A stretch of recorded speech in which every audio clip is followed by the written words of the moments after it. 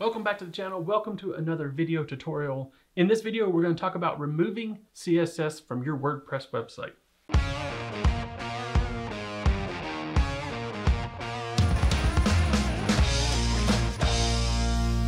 In the last video, we talked about adding Bootstrap CSS to your WordPress website.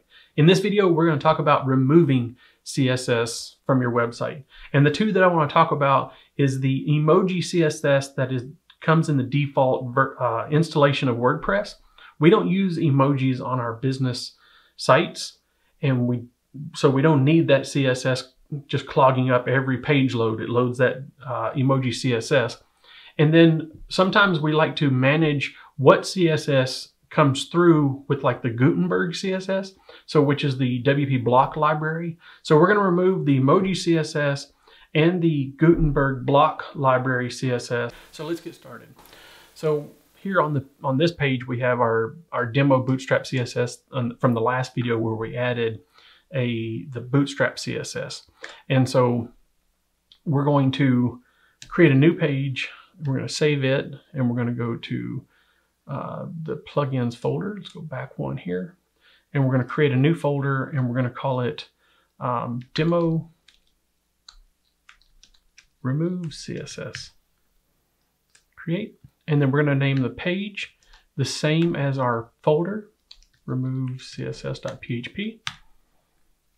And then we're going to add some PHP tags here. And this is going to be a very basic plugin. Add some comments here. I said plugin name. And we're going to put AA remove CSS. And I'm putting that at the top because um, I want to be able to find it in the list of plugins. We have a huge list of plugins, but you can call it whatever you want. You can name the file and the folder whatever you would like as long as the folder name and the PHP page match those same names. okay, because that's how WordPress looks for that PHP file is based on the folder name. Okay, so now we can save this to our site. We can come back here and before we activate anything, and add any code to it, I want to show you the source of our demo IdeaPro IO site here, just our demo site.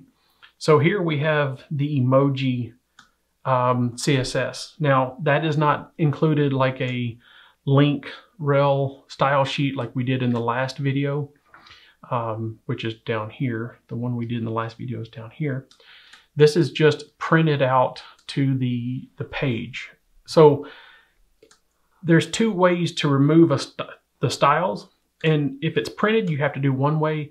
If it's has an ID like this block library CSS here, then you can remove it using that ID. In this last video we did, we did demo bootstrap CSS.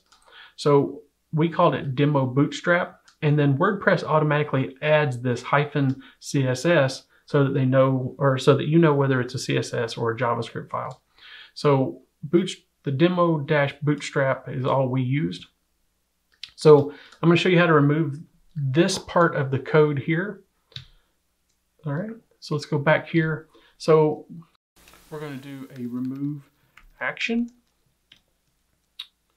And the action that we're going to do is a WP print styles.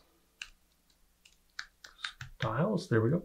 And so what that does is it says that we want to remove a WordPress printed style because the emojis come default in WordPress. It's not a secondary or a third a third party plugin or anything like that. And so then here we're going to put in print emoji styles. And so that is what WordPress calls this style here. Okay, is the print emoji style. We're going to save that. We're going to come into our dashboard here. We're going to go to plugins and we're going to activate our remove CSS plugin here that we just made. And we go back to our source. We see the source here. And if we do a refresh, it is gone. All right. So that is how we remove the um, emoji style sheet from the front of the website. The next one that we're going to remove is the uh, Gutenberg style sheet. Okay, so this is in the in the last video we did a WP in Q script, and this time we're going to be doing a WP in q style. Or last time we did a Q or an NQ, WP in Q style. This time we're going to do a WP in q style. So, all right. So here we're going to do a function.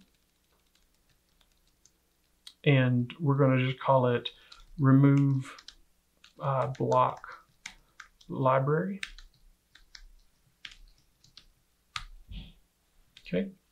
And so in here, we're going to do D, WP DQ style. And we're going to do a, so what we want to look for is we want to look for the ID of this CSS file. And as I said before, WordPress automatically adds the hyphen CSS to the slug of the uh, that you've chosen. So we don't want, we want everything except for that hyphen CSS, which is WP block library. We want to put that in there. Okay. And then here we're going to do an add action.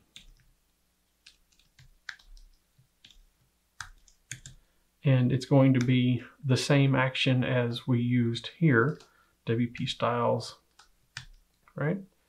And then we're going to just do our callback here, remove block library come back here and refresh. And now that block library CSS is no longer there. That's all I have for this video. Thank you for watching. If you like this video, subscribe. Remember to tap the bell for notifications. Leave me a comment and I will see you in the next video.